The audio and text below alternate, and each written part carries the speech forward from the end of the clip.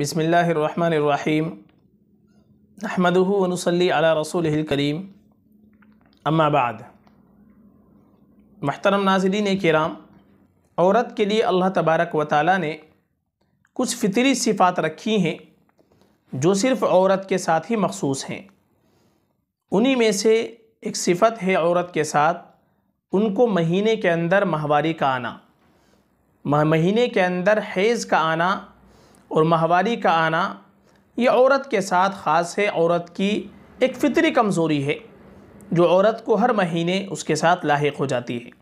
ये मसला औरत को बहुत सी इबादतों के अंदर पेश आ जाता है। बहुत सी इबादतों में ये मसला औरत के सामने आ जाता है। फितरी कमज़ोरी है, अल्लाह ने रखा है तो औरत को इस फितरी कमज़ोरी की बिना पर एहसास नहीं करना चाहिए। यह अल्लाह की तरफ़ से उसके लिए एक उज़्र है इसमें अल्लाह तबारक व ताली ने औरत को माजूर शुमार किया है। इसी तरीके से एक मसला, औरत को ये पेश आ जाता है कि बहुत सी औरतें घर के अंदर अगर एतकाफ़ करती हैं, एतकाफ़ कर रही हैं, दस दिन का एतकाफ़ होता है, आखिरी अशरे का, अब अगर किसी औरत को एतकाफ़ की हालत में, एतकाफ़ में बैठ गई और एतकाफ़ की हालत में अगर औरत को पीरियड शुरू हो जाए और औरत को माहवारी शुरू हो जाए तो अब औरत को क्या करना चाहिए? औरत के एतकाफ़ का क्या हुक्म होगा? तो ये मसला आम तौर पर औरतों के सामने पेश आ जाता है। इसलिए इस मसले को हम अच्छे से समझ लें कि अगर किसी औरत को जो आखिरी अशरे के एतकाफ़ में बैठी थी एहतिकाफ़ की हालत में उसके अयाम उसकी माहवारी शुरू हो जाए, उसको हैज़ शुरू हो जाए तो उस औरत का जो एहतिकाफ़ था, वो सुन्नत एतकाफ़ उसका फासिद हो जाएगा। माहवारी आने की वजह से और उसके पीरियड शुरू हो जाने की वजह से, हैज़ आ जाने की वजह से औरत का एतकाफ़ फासिद हो जाएगा। अब औरत एहतिकाफ़ से निकल जाए।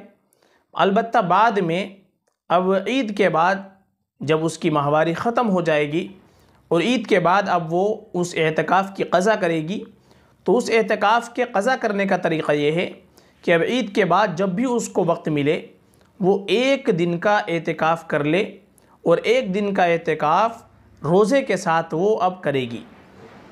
आखिरी अशरे का अगर एहतिकाफ़ टूट जाए किसी भी वजह से, जैसे औरत की फितरी कमज़ोरी की बिना पर अगर उसका एहतिकाफ़ टूट जाए तो अब उसके दस दिनों के एहतिकाफ़ की सिर्फ़ एक दिन की कज़ा लाजिम होगी। जब भी उसको फुर्सत मिले, जब भी उसको वक्त मिले तो एक दिन के एहतिकाफ़ के अंदर बैठ जाए। अलबत् उस एक दिन के एहतिकाफ़ में रोज़ा रखना शर्त है। रोज़ा रखना ज़रूरी है। एक दिन के लिए एहतिकाफ़ में बैठ जाएगी और फिर उस दिन का रोज़ा रखेगी। रोज़ा रख करके एक दिन का एहतिकाफ़ मुकम्मल करके वो उठ जाएगी।